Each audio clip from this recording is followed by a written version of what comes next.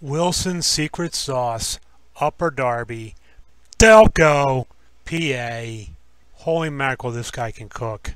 That first picture is actually a picture he had to give me because I just started eating this thing and I forgot to take a picture of the whole cheesesteak.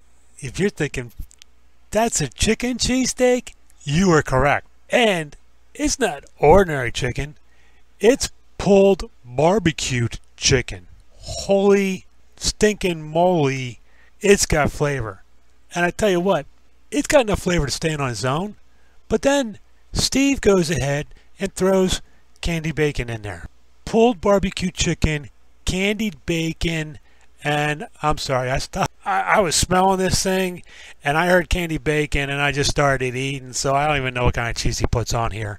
This is a darn good sandwich.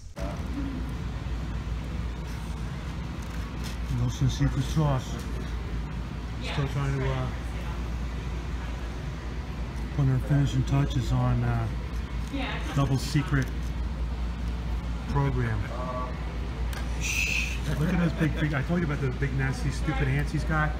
My throttle hand. those big stupid nasty hands. You cannot believe what they freaking make. I wish I need a next generation Apple phone that has a smell feature. Candied bacon, Cooper sharp cheese. This is the Wilson Secret Sauce chicken cheese cheesesteak.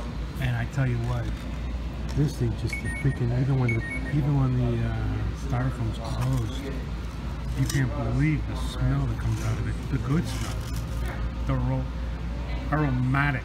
How about that word?